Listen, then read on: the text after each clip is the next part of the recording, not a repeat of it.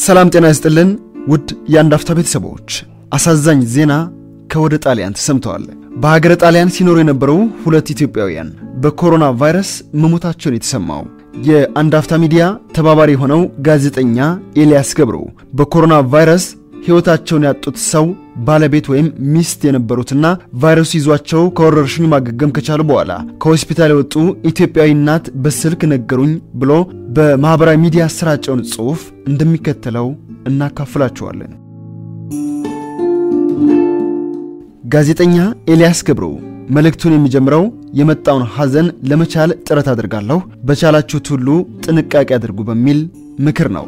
በኮሮና ቫይረስ ወረርሽኝ የተነሳ ሕይወታቸው ማለፉ የተሰማው ሁለቱ ኢትዮጵያውያን በጣሊያን ፓርማ ከተማ ሲኖሩ የነበሩ መሆናቸውን ነው ጋዜጠኛ ኤልያስ ገብሩ የሚናገረው። ፓርማ የተሰኘችው ከተማ በሰሜናዊ ጣሊያን የምትገኝ ውብ ከተማ ስትሆን አካባቢው በኮሮና ቫይረስ ወረርሽኝ ምክንያት ከተጠቃ ወይም ቫይረሱ በስፋት ከተሰራጨባቸው የሀገሪቱ አካባቢዎች መካከል ቀዳሚዋ ነች።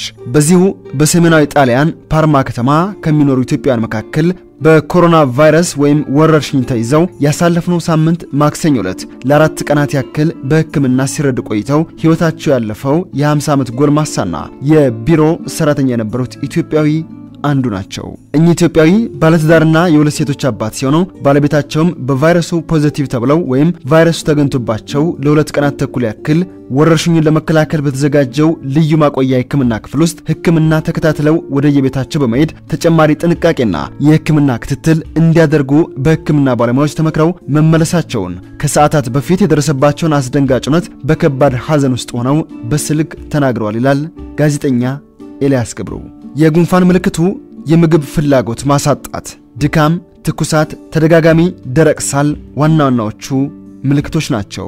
እኚህ ኢትዮጵያዊ ወይዘሮ ለሰባትና ስምንት ቀናት ከባለቤታቸው በተመሳሳይ መንገድ የህመም ስሜቱ ካጋጠማቸው በኋላ ወደ ሆስፒታል ሄደው እንደነበርም ይገልጻሉ።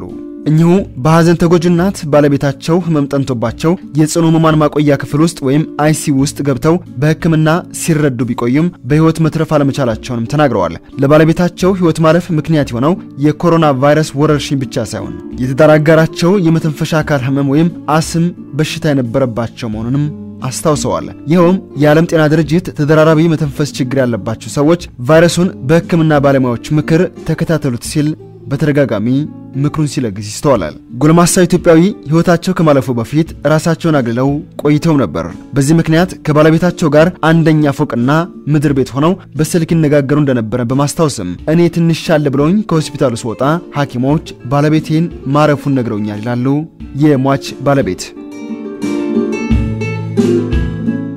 ሐኪሞች የቻሉትን ያክል እርዳታ እንደሚያደርጉ የሰውን ሕይወት ለማትረፍ ራሳቸውን መስዋዕት እስከ ማድረግ መድረሳቸውንም በበጎ ጎን ይጠቅሳሉ። ለዚህም ነው ሆስፒታል የገባ ሁሉ አይሞትም ሲሉ የሚናገሩት።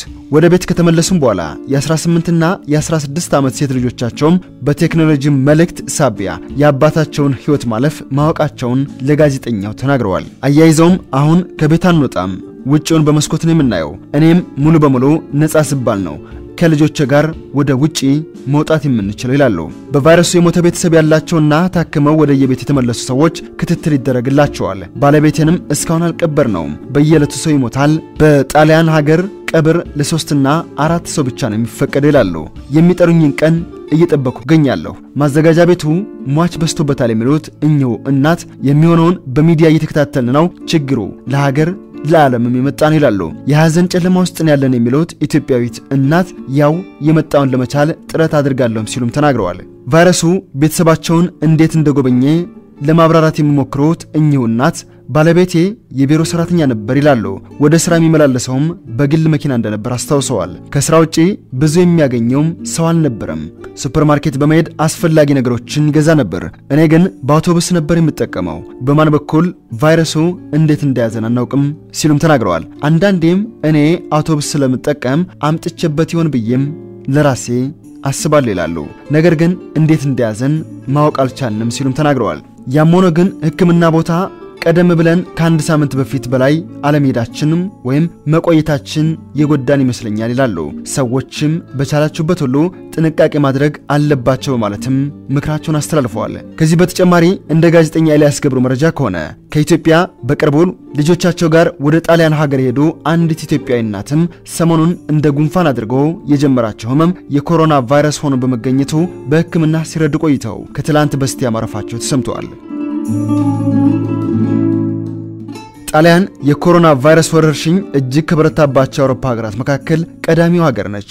ወረርሽኙ በሀገሪቱ ከተከሰተበት የመጀመሪያው ሳምንት ጀምሮ ያለውን የቫይረሱ ተጠቂ ቁጥር ለመመልከት ያክልም በአንደኛው ሳምንት በጣሊያን ሀገር ሶስት ሰዎች ብቻ ነበር የኮሮና ቫይረስ ወረርሽኝ የተገኘባቸው። በሁለተኛው ሳምንት ግን ቁጥሩ ወደ 152 አሻቀበ። ሶስተኛ ሳምንት ላይ ሲደርስ 1036 ሰው በኮሮና ቫይረስ ወረርሽኝ ተይዞ ተገኘ።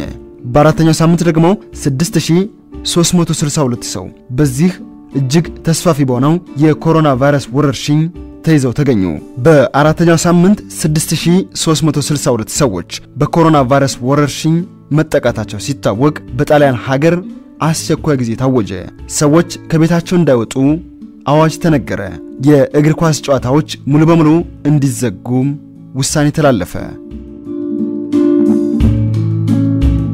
አሁን በያዝነው ወረርሽኙ በተከሰተበት አምስተኛ ሳምንት ደግሞ በጣሊያን ሀገር 21157 ሰዎች በኮሮና ቫይረስ ወረርሽኝ ተይዘው ተገኝተዋል። ሁለቱ ሕይወታቸውን በኮሮና ቫይረስ ወረርሽኝ ምክንያት ያጡት ኢትዮጵያውያንም ከነዚህ 21157 ሰዎች መካከል የሚገኙ ተጠቂዎች ነበሩ። ከዚሁ የኮሮና ቫይረስ በሽታ ጋር በተገኘ ጠቅላይ ሚኒስትር አብይ አህመድ በዚህ ወቅት ኢትዮጵያን ከወራሪ ኃይል የሚታደገው ወታደር የኮሚኒኬሽን ባለሙያ ነው ሲሉም ተናግረዋል። ከኮሮና ቫይረስ ጋር በተያያዘ ለሕዝብ ህልውና ወሳኝ ሚና ሊጫወት የሚችለው የኮሚኒኬሽን ባለሙያ መሆናቸውን አስመልክቶ የተናገሩት መልእክት ነው። አንድ ወታደር ህይወቱን ሰውቶ ሀገር እንዳስቀጥለው ልክ የኮሚኒኬሽን ሙያተኛም ስለ ኮሮና ቫይረስ አስፈላጊውን ጥንቃቄ ለህዝቡ ትክክለኛና የሚያስፈልገውን መረጃ በመስጠት ህዝቡን ከቫይረሱ መታደግ እንደሚቻል ጠቅላይ ሚኒስትር አብይ አህመድ ተናግረዋል። ኢትዮጵያ አሁን ያጋጠማት አደጋ ውጊያ ቢሆን በሰሜን፣ በምዕራብ፣ በደቡብና በምስራቅ የአገሪቱ ክፍል ወታደር ተሰልፎ ይከላከላል። በአንጻሩ የኮሮና ቫይረስ ወረርሽኝ ወታደር የማይከላከለው ስለሆነ የኮሚኒኬሽን ባለሙያዎች ህዝብን በማስተማርና ትክክለኛ መረጃ ተደራሽ በማድረግ ሰዎችን ከሞት ከስቃይ፣ ሀገርን ከኢኮኖሚ ድቀት መቀነስ ይቻላል ሲሉም አክለዋል ዶክተር አብይ አህመድ። በዚህ ጊዜ የኢትዮጵያ ሉዓላዊነት አደጋ ውስጥ የሚወድቀው በኮሚኒኬሽን ሙያ መሆኑን ገልጸው በትንሽ የተሳሳተ መረጃ ወንድም ወንድሙን ሊገልና ሊያቃቅር የሚቻል መሆኑን ተናግረዋል። አሁን ሀገሪቷ ለገጠማትና ወደፊት ለሚያጋጥማት ፈተና በእውቀትና በጥበብ ከተሰራበት የኮሚኒኬሽን ሙያ በጣም ወሳኝ ሙያ መሆኑንም ጠቅላይ ሚኒስትሩ አብራርተዋል። ቻይና በቫይረሱ ምክንያት ያጋጠማትን ፈተና የተቋቋመችው በጠንካራ ኮሚኒኬሽን መሆኑን አውስተው የኢትዮጵያ የኮሚኒኬሽን ባለሙያዎችም በእውቀትና በጥበብ ላይ የተመረኮዘ መረጃዎችን ለሕዝቡ ተደራሽ በማድረግና የሐሰት መረጃዎችን በማጋለጥ ፈተናውን ማለፍ ይቻላል ብለዋል። የኮሚኒኬሽን ሙያ ኢትዮጵያ የገጠማትን ፈተና ተቋቁሞ ለማለፍ በጣም ወሳኝና የሚያስፈልግ መሆኑን ገልጸው ይህን ፈተና ከተወጣን ሀገሩን እንደታደገ ወታደር ልትቆጠሩ ስለምትችሉ በእውቀትና በጥበብ የታገዘ የመረጃ ፍሰት ማድረስና ይህን በተለየ ሁኔታ ሊጠቀሙ ያሰቡ ካሉ እንዳይጠቀሙበት ትክክለኛ መረጃ ማቅረብ ይጠበቅባቸዋል ብለዋል። የኮሮና ቫይረሱን ከልክ በላይ አግንኖና ከልክ በላይ አቅልሎ ማየት አያስፈልግም ያሉት ጠቅላይ ሚኒስትሩ የመኪና አደጋ ከፍተኛ ሞት የሚያስከትል ቢሆንም የሚሰጠው ትኩረት አነስተኛ ነው። በአንጻሩ በዚህ ጊዜ ስለ ኮሮና ቫይረስ ገና ይገላል የሚል ከመጠን ያለፈ ፍራቻ በህብረተሰቡ ዘንድ የተፈጠረው በኮሚኒኬሽን በሚተላለፉ መረጃዎች መሆናቸውን ተናግረዋል። እንደ ጠቅላይ ሚኒስትሩ ገለጻ የመረጃን ውጤት ሳይሆን ምንጭ የሚፈልግና የሚያጣራ communicator ያስፈልጋል። በኮሚኒኬሽን የሚደረግ ጥቃት ብሔር ከብሔር፣ ሃይማኖት ከሃይማኖት ሊያዋጋ ይችላል። ስንት የተለፋበትን በሰዓታት ሊያጠፋ ይችላል። ስለ ቫይረሱም የተጋነንና ትክክል ያልሆነ መረጃ መስጠት አደጋ ያስከትላል ባይ ናቸው። በጠቅላይ ሚኒስትር ጽህፈት ቤት የኮሮና ቫይረስ እንዳይዛመት መደረግ ስላለባቸው ጥንቃቄዎች፣ ዝግጅቶችና ለህብረተሰብ ተደራሽ ስለሚደረጉ መረጃዎች ዙሪያ በተካሄደ ውይይት የክልል ኮሚኒኬሽን የፕሬስ ሴክሬታሪያትና የጤና ኮሚኒኬሽን ኃላፊዎች ተገኝተዋል። ቫይረሱ እንዳይዛመትም የበኩላቸውን ሙያዊ ድርሻ እንደሚወጡ ቃል ገብተዋል። የኢትዮጵያ ፕሬስ ድርጅት የመረጃ ምንጫችን ነው። የተለያዩ የኢትዮጵያ ዜናዎችን፣ ትኩስ መረጃዎችን፣ የመዝናኛ ፕሮግራሞችንና ልዩ ትንታኔዎችን ለማግኘት subscribe ያድርጉን። እናመሰግናለን። አንድ አፍታ ሚዲያ